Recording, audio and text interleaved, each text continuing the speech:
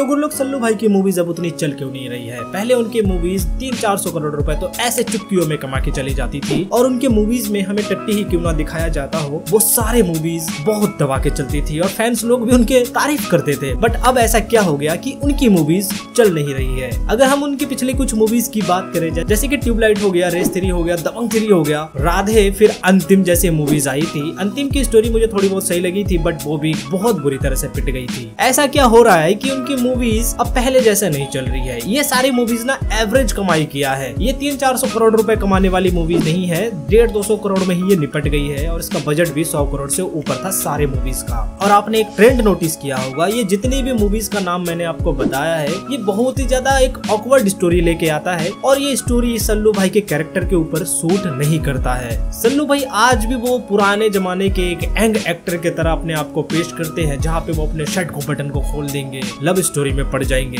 और अभी जो उनकी नई मूवी आई है, किसी का भाई, किसी का जान, उसमें वो एक कुवारा बने हुए हैं और उनकी अभी तक शादी नहीं हुई है। भाई लोग वो फ़िल्म में सिक्स पैक एप्स करते हुए दिखाई देते हैं, लड़कियों के साथ बात करते हुए दिखाई देते हैं शर्टलेस होकर गुंडों को मार रहे होते हैं और ऐसा फील कराते हैं जैसे की वो भी तीस साल के कोई नौजवान हो। तो क्या आपको लगता है की ये जो कैरेक्टर है, ये सल्लू भाई के ऊपर सूट करता है? ऐसे कैरेक्टर है सलमान के ऊपर अब सूट नहीं करते हैं, क्योंकि वो साठ साल का एक बुढ़ा हो चुका है। तो देखो छोटी मुँह बड़ी बातें कर रहा हूँ बट जो अपने शाहरुख खान है, वो इस चीज़ को समझ चुका है।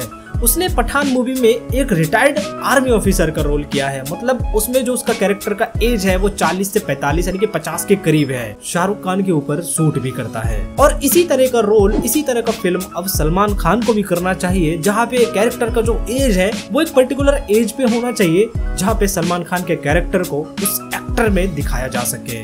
तो दूसरा रीजन ये है कि सिनेमा का जो ट्रेंड है वो बिल्कुल बदल गया है। उसमें आप कितने भी बड़े एक्टर क्यों ना हो, कितने ही अच्छे एक्टर क्यों ना हो? अगर आपके मूवी में कंटेंट में दम ना हो तो किसी का बाप में इतना दम नहीं है कि उस मूवी को चला सके। ऑडियंस अब समझ चुकी है कि कंटेंट इज़ द मेन की अगर मूवी को सक्सेस होना है तो उसमें देखो एक्टिंग तो करना पड़ेगा ही। साथ ही साथ, उसके अंदर कुछ थ्रिल कुछ सस्पेंस कुछ ऐसा मटेरियल होना चाहिए जिससे कि ऑडियंस अपने आप को रिलेट कर सके और उसमें बंद के रह जाए। ये ट्रेंड तब से चेंज हुआ है जब से शॉर्ट फॉर्म की जो वीडियोस है, वो आने लगी है। टिकटॉक यूट्यूब इस तरह के प्लेटफॉर्म ने जो ऑडियंस का जो एक कंटेंट कंज्यूम करने का जो क्राइटेरिया है, वो बिल्कुल बदल के रख दिया है। और उसके बाद जो ट्रेंड आई थी वेब सीरीज़ का, उसने ऑडियंस को बिल्कुल खोल के रख दिया है। मतलब वो अब समझ चुकी है कि कौन सा कंटेंट अच्छा है, कौन सी मूवीज़ बेकार है। तो हमें क्या देखना है, उसको अब पूरा पता है। वो इस स्टार्डम के पीछे नहीं भागती है, अंधे होके नहीं जाती है सिनेमा घर पे कि मैं इस एक्टर का मूवी लगा है तो मैं इसको देखने जाऊँगा। ऐसा आजकल बिल्कुल नहीं होगा। तो मैं तो यही कहूँगा कि सल्लू भाई अब सुधर जाओ।